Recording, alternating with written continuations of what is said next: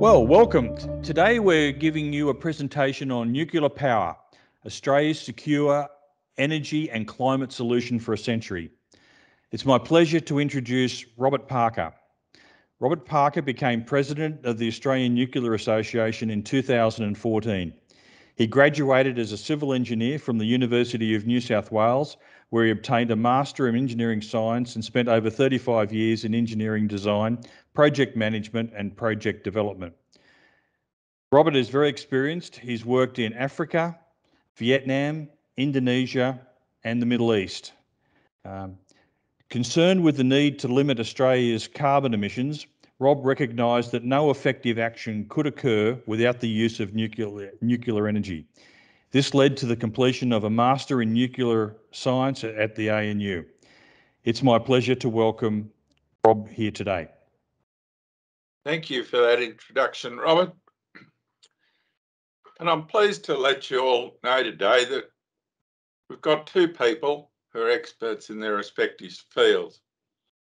This presentation could not happen without the intellectual endeavour of my colleague, Dr. Robert Barr, who's going to speak to you later about the economics of nuclear energy and why it's vital for our secure energy future. But I'll introduce you later on in Robert's in the in the talk.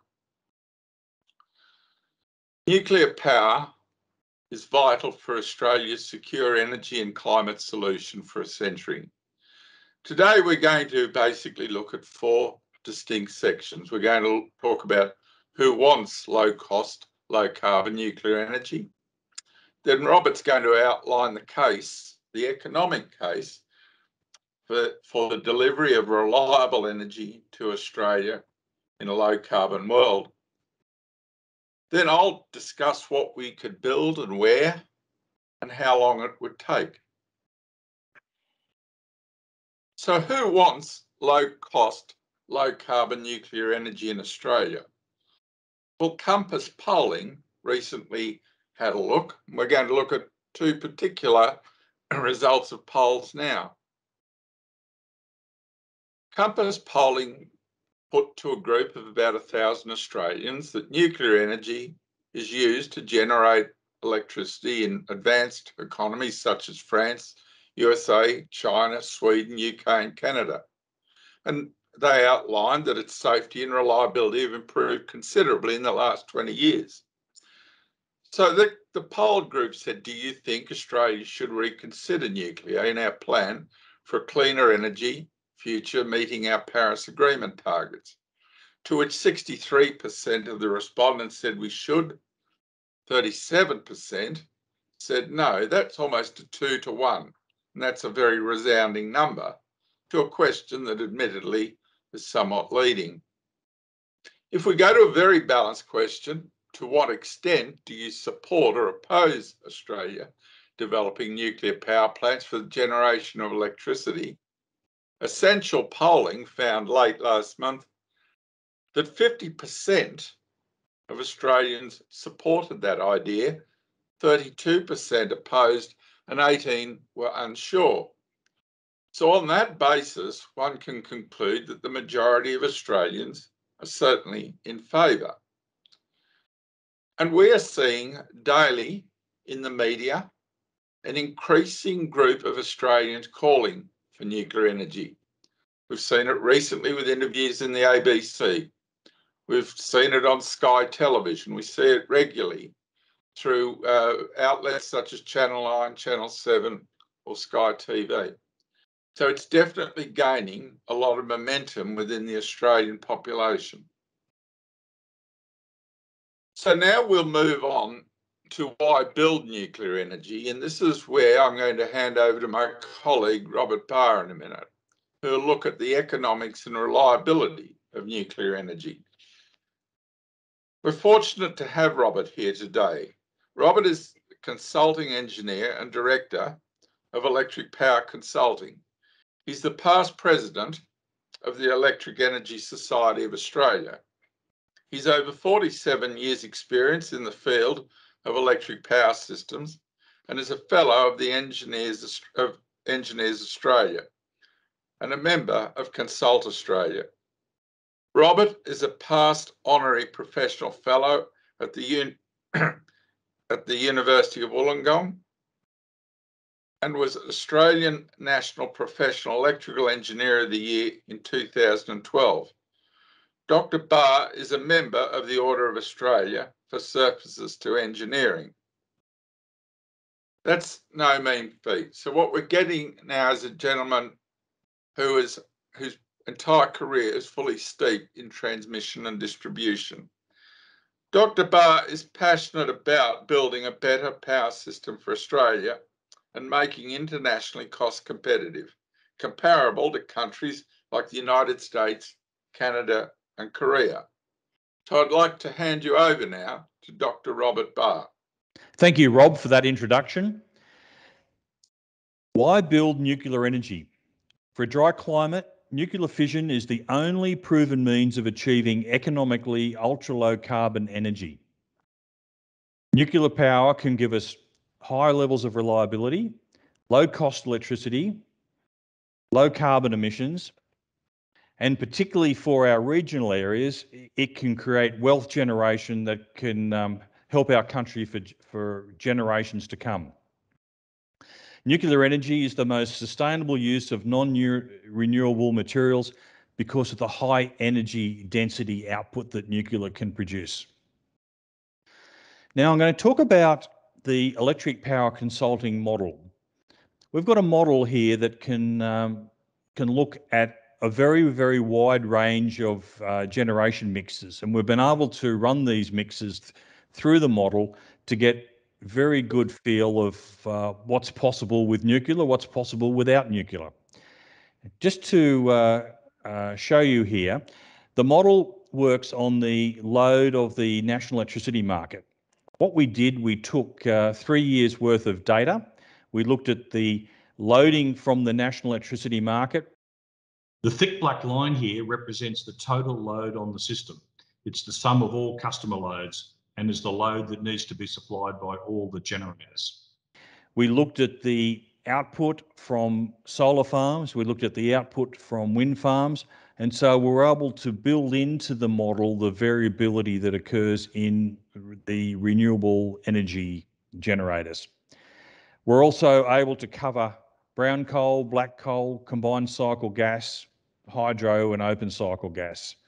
So it's a very comprehensive model the EPC model not only gives, gives us generator dispatch, but it also gives us costing information.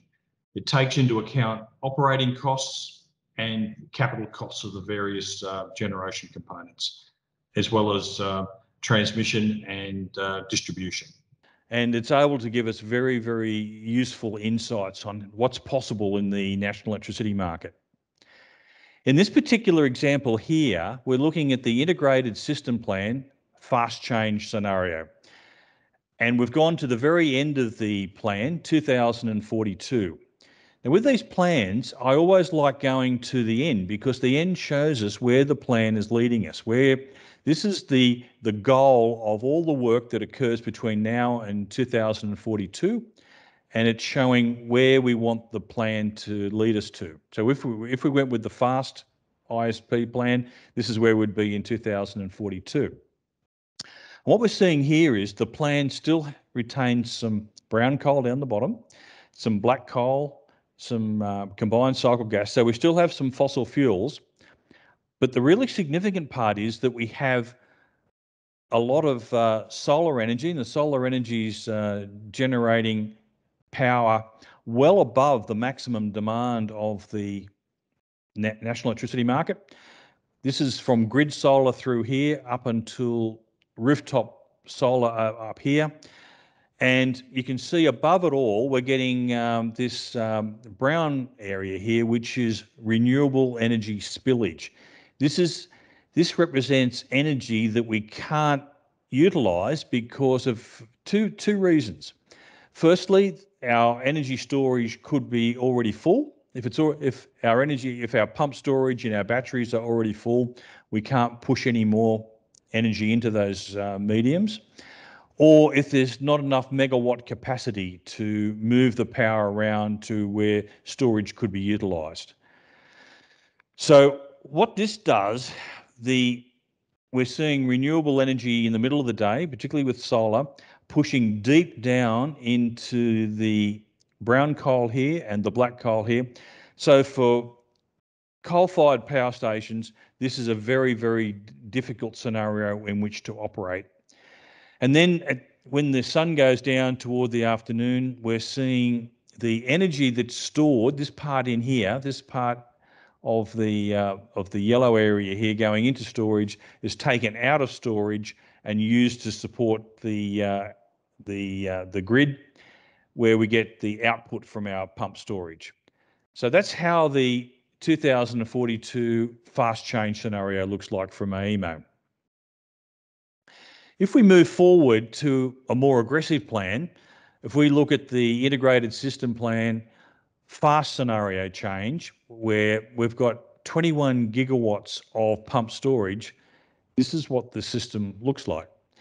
Now, just, just to get a handle on how big 21 gigawatts of pump storage is, if we go to the Snowy 2.0 scheme, which has got 2, uh, 2 gigawatts of, um, uh, of output, we're looking with this particular plan of over 10 Snowy 2.0 systems.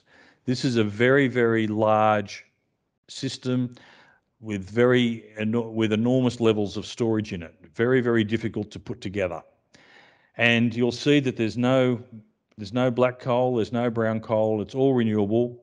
We have hydro here, we've got wind, we've got solar here, solar grid, solar uh, rooftop, and we have our renewable spillage at the top. And you'll notice that the renewable spillage is now larger than it was with our with our previous plan.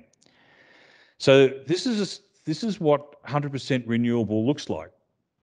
Now, part of the proposals that we've been hearing through the news is that um, maybe we can use this for hydrogen production. And I, I, presume that the plan would be that we would utilise these renewable spillage areas here to make hydrogen. Now, the difficulty I see with this is that what we have to do is have hydrogen plants with connection to this spillage area, but they would only operate for sh- such short periods. They'd operate for three or four hours during that day, and then uh, uh, other longer for this particular day. And then there'd be days like this one over here where there'd be almost no energy available. So what you would have is a hydrogen plant sitting idle for many, many hours of the day, many, many days of the year. The alternative would be to put more and more storage into the system to make the hydrogen plant, to allow the hydrogen plant to operate on a 24 7 basis. And that would mean going even further beyond the 21 gigawatts of uh, storage, maybe 30 or even 40 gigawatts of storage, which is an enormous cost. And that's why we think that hydrogen production is problematic and very, very difficult to achieve economically. So what might the transmission system look like with a as we move toward these renewable energy zones? Now, I've drawn a very simple system here just to illustrate the, the key points. If we take a look at New South Wales and, in, and the load around Sydney in particular, a lot of the load in New South Wales is concentrated in this Sydney area. And at the moment, there's um, a lot of uh, coal-fired power stations in the northern coalfields. These are uh, Eraring, Liddell, uh, other uh, power stations up here. And we've got very strong connection from the, from the Hunter Valley through into Sydney. Now, a place like Dubbo out in the central west uh, is a relatively small load compared to Sydney, and there's a link out here, but it doesn't have to be a particularly strong link because the loads in Dubbo are not that particularly large. Then we've got Canberra down here toward the, the south, and Canberra is a um, um, reasonable sized city, not quite as big as Sydney, and so we need a, a reasonable link through to Canberra. And we'll have another link down here into this into um, Snowy Hydro, where where the Snowy 2.0 is being built at the moment. So that's that's what we're looking at with transmission under the present arrangements. If we move to 100% renewable a system that looks like this, what we end up doing is we requiring a transmission system that looks more like this. So our coal-fired power stations have been closed down, so we run the risk of this part of the network uh, being underutilised, Pro probably still being utilised, but not being fully utilised. But if we put a lot of renewable generation out here at Dubbo at a brand new renewable energy zone, what we have to do now is get enough capacity, transmission capacity between Dubbo and Sydney to supply basically all the load of Sydney for three, four, five hours of the day. That's why I've put in these extra three lines here in uh, that are shown in pink to uh, indicate the extra transmission capacity required to move power from Dubbo to Sydney in the middle of the day. But that's not enough there's more generation to uh, to be utilised, and that's this this part here. This is the part between the the load here and this generation output here. This part here has to be moved into storage. And to get it into storage, what we have to do, we need transmission capacity from the renewable energy zone, Dubbo, down to Snowy 2.0, where it's going to be stored. So this was a transmission requirement that wasn't needed before but is now needed under a 100% renewable scheme.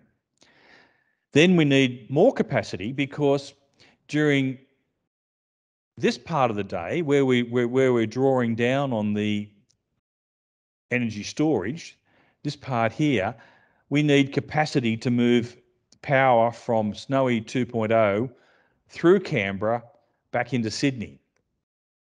And What's not understood with the renewable energy schemes is the very, very high cost of transmission. All this transmission has to be built, all of it has to be paid for. And we're seeing we're seeing this at the beginning now with um, HumeLink, which we which I understand has an estimate originally of 1.3 billion dollars, now blowing out to 3.4 billion, with the possibility of it even rising another 40 percent and that's that's to do that's related to this part of the system up through here. But it's not just high voltage transmission that's involved. When the renewable energy zone is built around Dubbo, we need a sub-transmission system. Because renewable energy is dispersed generation, we're going to end up with solar farms and wind farms that are spread over a very, very wide area around Dubbo. We're going to have to build a new sub-transmission system uh, around here, probably much more with much more capacity than the existing sub-transmission system that would be out there at the moment. So I want to stress that renewable energy zones and 100% renewable system is got very, very high transmission and sub-transmission costs. So let's have a look at what we could do with nuclear. Can we combine nuclear with high levels of variable renewables? Well, when we do the modelling, what we find here with this is a scheme that's 50% renewable and 50% nuclear. Now, to get that level of mix to work, we've got our nuclear power coming up here, this bottom light blue area. Uh, we've got our hydro in the uh, dark blue area. And then we've got our solar working up here, doing what it did in the previous version. It's going up here above the level of the um, NEM load with this part here going into storage. So now the difficulty with this scheme now is to get enough renewable energy into the system to get the 50%, we're driving down through the hydro, which is fine because the hydro can back off and come forward as required.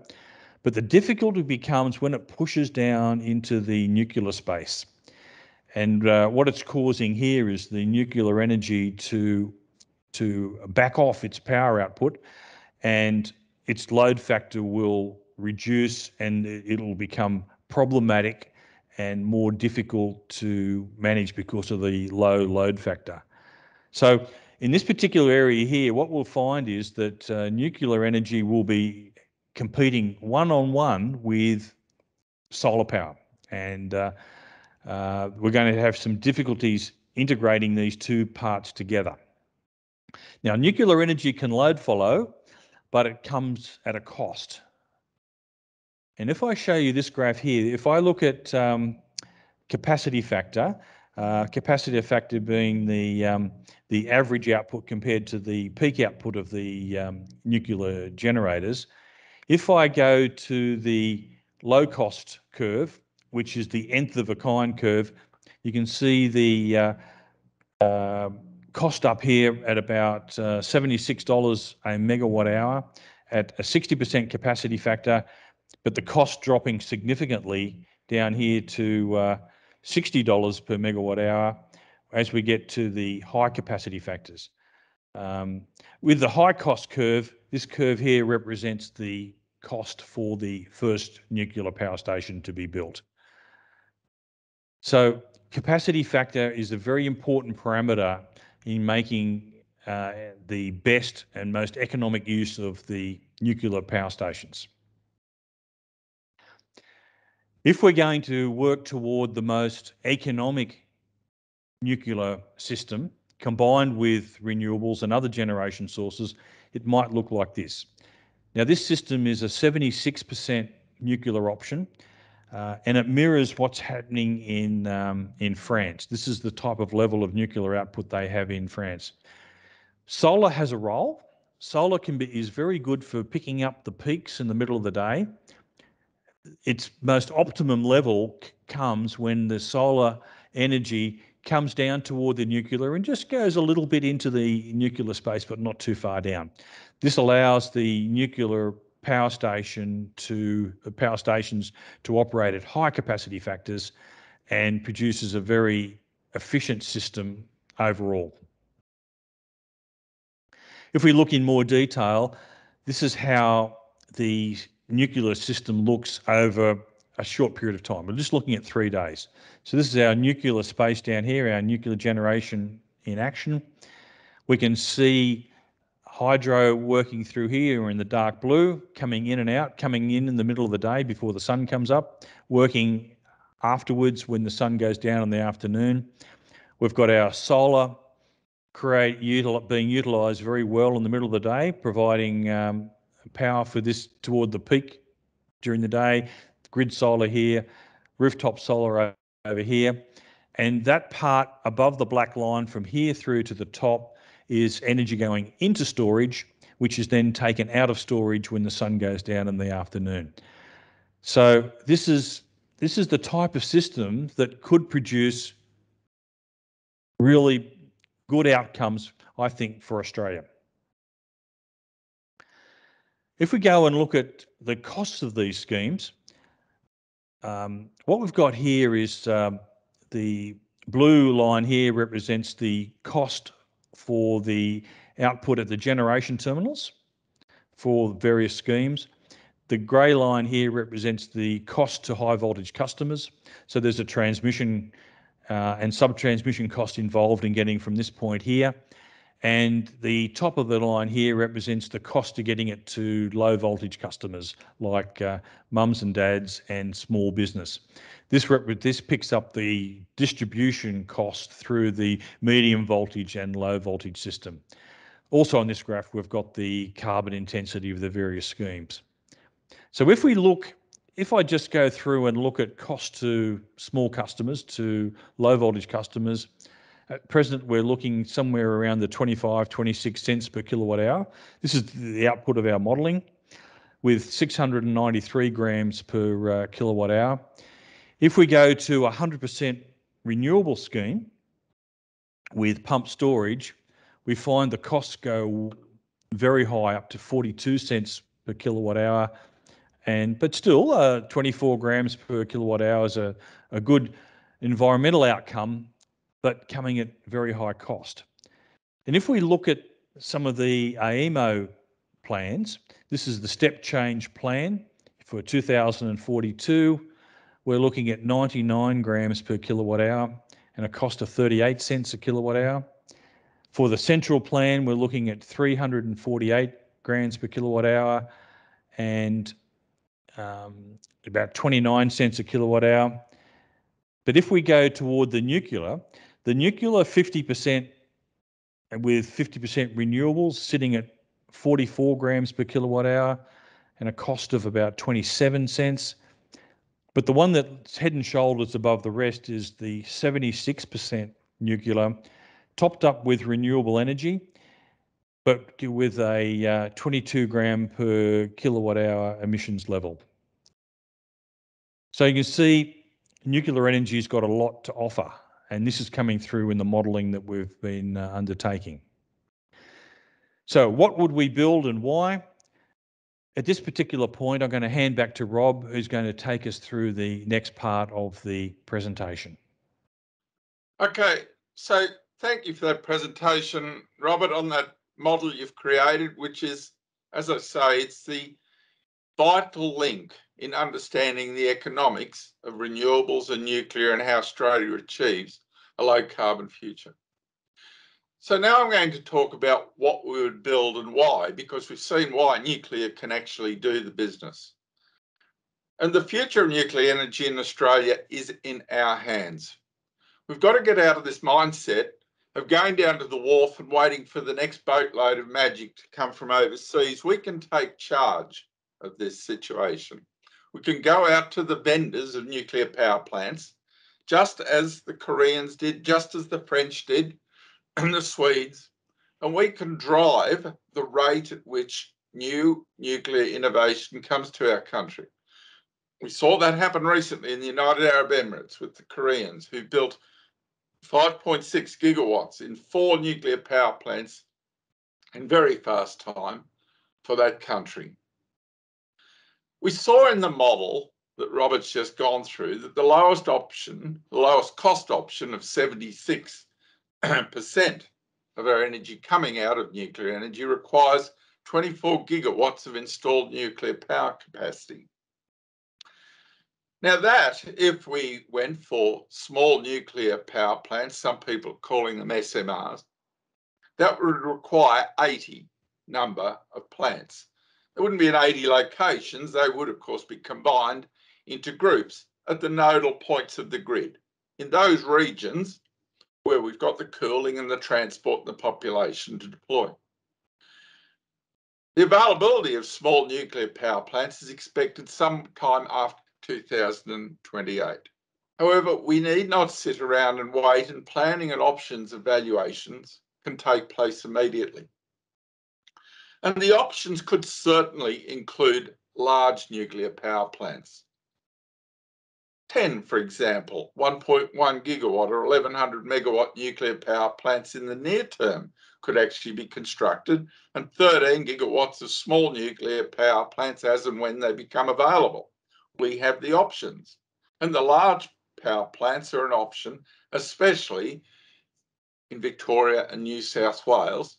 We'd probably need to reinforce the links between the two states if we went down that route. A better low cost solution for Australia may well be around small nuclear power plants, these 300 megawatt size. That's because the Australian grid is probably one of the longest grids in the world, but it's essentially quite light. We don't have great strength in the grid apart from in the connections between the Latrobe through to Melbourne or in the Hunter through to Sydney. In this view, we see a typical uh, small nuclear power plant. This, in this case, it's General Electric's BWRX 300. Unlike the large plants we're used to, there are no big cooling towers. Out the back there, you've got some forced vent ventilation coolers. Off to the left, you've got backup water supply. There in the middle, you've got a low-rise building with the turbine set sitting in that low-rise building and the nuclear island, which two thirds of it is actually built into the ground. And off to the right, over here, we've got the switchyard. So it's a very low rise, compact looking system. And here is what a plant would look like on a coastal location. In this case, you'd be getting once through cooling using seawater. And you can see it's a very low rise building, about the height of the transmission towers each side of it. This particular plant happens to be a boiling water reactor. It's the simplest way to make steam. The direct cycle design requires no steam pressurizers or steam generators. Basically, you've just got water, cooling water flowing into the reactor. Here's the reactor control um, reactor unit itself. The steam is generated and flows back out along this line through the turbine. So you've got that's your what we call your primary coolant circuit. Here we have the cooling tower, or it could be first pass water coming from, from the sea. That provides the cooling medium. The water in the primary circuit, in this circuit, also acts as what we call a moderator.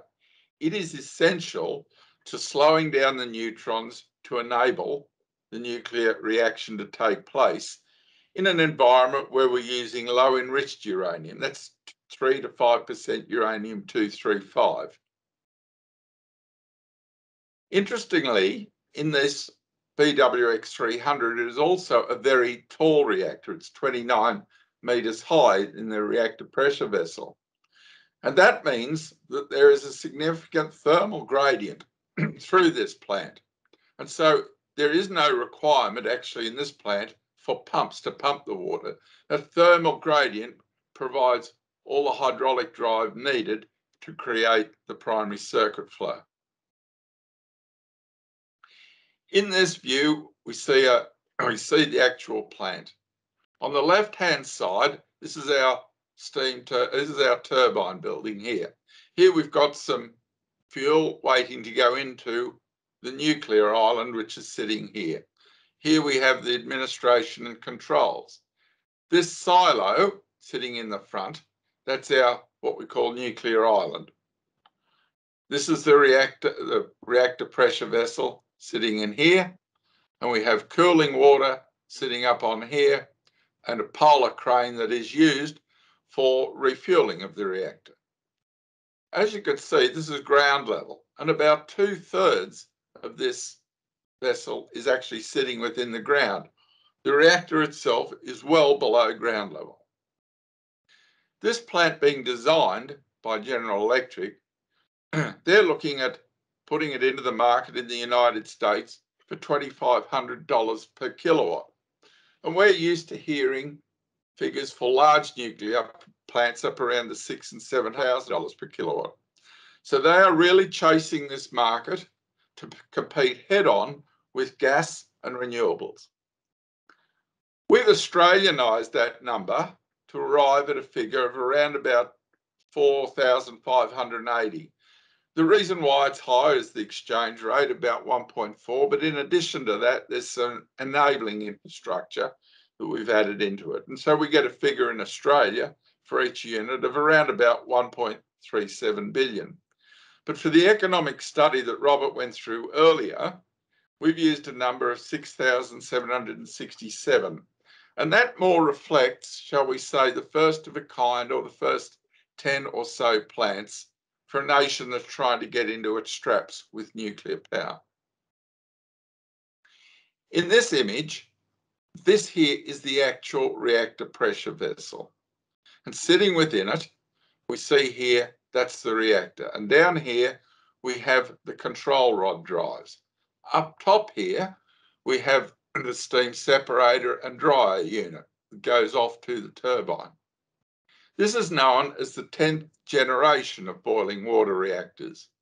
And it's, it's a scaled down version for the economic simple BWR, which is currently NRC licensed. But it's been de designed very much with a cost, a design to cost approach.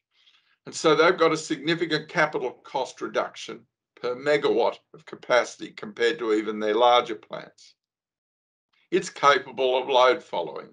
And it's also ideal for electricity generation and industrial applications such as hydrogen production or electrolysis um, uh, or producing uh, water for communities. So we can use it for desalination. Its construction is due to, end, to be built first plant probably in Canada um, by Bruce Power at the Darlington site to be operational by 2028. The safety case of this reactor is impressive, but it's similar to most of the new generation of reactors, be they large or small. They're all looking at what we call these days passive cooling. Now, what do we mean by that? Well, let's take an example of the type of event that the safety case is built around. And it's what we call a LOCA, a loss of coolant accident. For example, if the main coolant lines going between the reactor through to the turbine were broken, that is a serious event because it's that water that's coming back from the turbine and from the cooling resource that keeps that removes the, the heat out of the reactor. In the in that event, the reactor shuts down. And then what we have is isolating valves automatically open.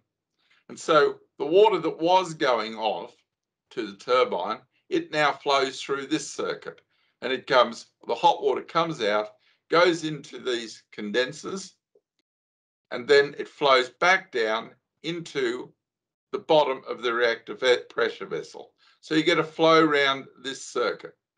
And in that water storage, that's where all the decay heat, the heat that, that caused the unfortunate meltdowns at Fukushima. And so this particular plant is protected against that event by this large water storage.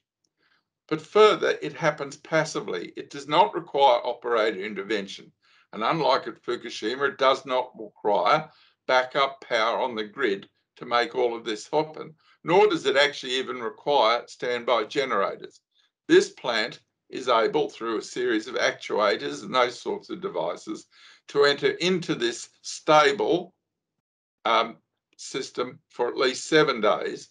And during that period, this water in this tank can be replenished. We'll now look more closely at the nuclear island. this cylinder that's cast into the ground is about 30 metres in diameter. The reactor vessel itself and its, its uh, steam cycle, it's about four metres across and that's about 29 metres in height. So you can see this cylinder, this, this cylinder is up around 40 metres. Fuel handling, that's handled by this polar crane. So when they want to put fuel into the reactor or take it out, they take this dome off and this smaller dome here, these are removed to this location by the polar crane. The fuel rods are then moved up out of the reactor and they're stored over here in the used fuel racks, all underwater. And fresh fuel is brought in from this side and placed down inside the reactor. This here is the main steam tubes going off to the turbines. And these here are the tubes that we saw in the last image, which are taking decay heat up into this water in the case of a loss of coolant accident or some other issue. The turbine that we saw previously in those, those earlier slides, they're existing turbines. Most of the gear, almost 90% of the components in this nuclear island are based on designs that are already in option. So we're not, or in operation, I'm sorry. So we're not reinventing the wheel with this reactor. There's surety in the supply of the equipment. As I said earlier, the first of these plants is due to be built in Canada, and PricewaterhouseCoopers has done a very extensive economic evaluation for what it would mean to the Canadian economy and the Ontario economy in particular. We know from their study that the first up capital cost of the first of a kind is about 2 billion Canadian. And given our exchange rate is about $1 Canadian is about a dollar and five cents Australian, it's a similar order in Australia. The first reactor is due to take seven years to construct and there'll be about 1,700 jobs over those seven years. And as the numbers in here show, a substantial improvement to the GDP of Ontario and Canada generally. The reactor, or the nuclear power plant itself, will sustain about 200 jobs over 60 years. But when we move on to the nth of a kind, or the, the next group of nuclear power plants, we see that each of those would take about four years to build and would sustain about 2,000 jobs. So if we were to build these types of plants in Australia, where would we build them and how long would it take? Well, in Australia, we know that for site selection on our grid, we need to use the grid to the maximum extent. That's what Roberts modelling has shown. So we'd site them at the major nodes of the Australian grid. Cooling is a vital thing, particularly in our dry climate. We don't have a lot of water to play with. So first off, we'd look at once through cooling, possibly through seawater, using seawater resources. If we were to go to inland locations, such as places like Bayswater or out around Wallerawang, we could look at evaporative cooling using the existing facilities used by coal plants. But if we wanted to even cut back on that amount of water, we can go to a hybrid cooling, which means we only use about 25% of the water that's currently used in uh, normal evaporative cooling. That's using a little bit like a car radiator with water jetted through it. it that's the, the kind of principle involved in hybrid cooling. Or if we really were sapped for water, we could use dry cooling. The other options we've got in Australia, which we don't tend to use very much, but we need to explore, are the use of water coming from our sewerage systems in our major cities. And that's the type of thing that is used in Arizona, for example, to keep their nuclear power plants going. Foundations, these plants would be built on rock.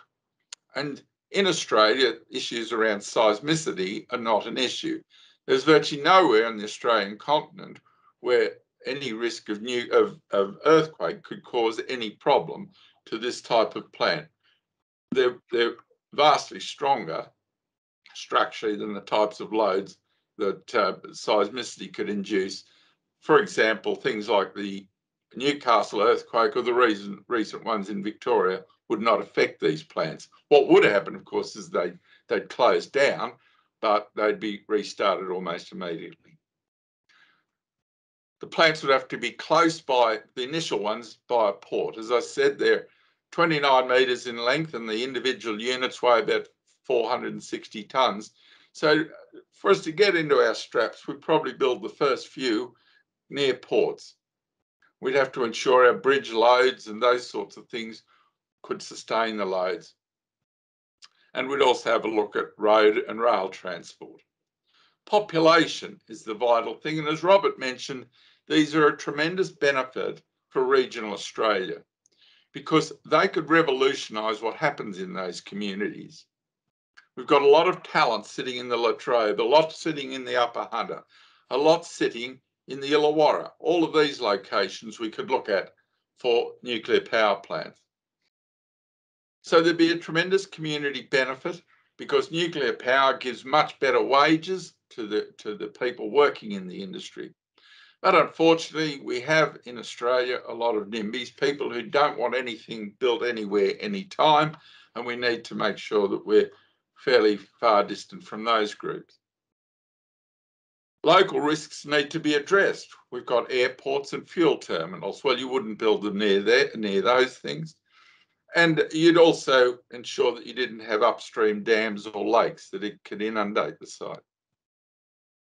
The number of plants in Australia, we've spoken earlier, about 80 of these small plants. So we'd have about 30 in New South Wales, about 18 in Victoria, 28 in Queensland, four in South Australia, and we could go over to the southwestern situation in Western Australia where you could use about six. But there are vastly more sites in Australia that could suitably use these plants. I'm going to come now to an overview of where we could actually use the plants. So where would we build these plants in Australia? Well, we'll start up in Queensland. up around the Townsville region, we could build about 600 megawatts up there. We've got a very good location around Gladstone, Stanwell, or the Callide group of power plants. That's a very strong part of the Queensland grid. And so what we've got here is the 275,000 uh, volt lines. That's these dark purple colours. And so we could build a group there. Or we could go more closely down around the major load in southeastern Queensland. Here we've got the large confluence of all of these 275 transmission lines coming down around to the large water resources that we've got in uh, the southeastern corner. Or we could go out to Tarong, which would be another possible location. If we move on to New South Wales, we could go up to the north of the state around Grafton, or we could come further south and we have sites around here near Liddell or Bayswater. The reason for picking there is, of course, we've got the existing coal plants, we've got the confluence of very large transmission lines and good, trans uh, good transport facilities and a learned, skilled workforce that can be trained up to work on nuclear. Or we can go over to the mid-north coast. And here we can be reliant upon using seawater cooling. We could go to Eraring, Vales Point, Munmorah, or further south down around Tuggerah, where we've got this very strong grid that is all designed to meet the Sydney load and the Newcastle load. We could even look around closer to the load around these sites in orange, and that's closer to the load in Sydney, looking at the Hawkesbury Nepean region as a possible as a potential for cooling. We can go out to the existing plants at uh, or Mount Piper, where we've got the cooling resources and again the 500,000 volt line heading off towards the uh, towards the major load regions. Further south, we could even consider the Illawarra because there is a tremendously well-trained workforce. We've got Lake Illawarra, and again, we've got a good confluence of large capacity transmission that could take that power to the rest of the state. Or, for similar reason, we could go out to places like Marulan and the Southern Tablelands. Again, where we've got a large number of high capacity transmission lines and cooling facilities and good transport resources. Canberra could also sign up to one of these. And we've got the recently constructed dam in Canberra down near the Murrumbidgee, and we've got this group of interconnectors, transmission interconnectors that could take the power out of the ACT. We wouldn't like to leave Canberra out of the selection process. Heading off into Victoria uh, are uh, where there are tremendous opportunities. The connection between the Latrobe through to metropolitan Melbourne is probably the most powerful connector in Australia. It can take this part of seven or eight gigawatts of energy. And so we could look at plants at Yallourn, or we could go to the old Hazelwood site, or we could go over here to Loy Yang. So there are a tremendous number of plants that can be built there. We could group them in fours or sixes at these different sites. So you could have plants varies from 1200, 1800 megawatt.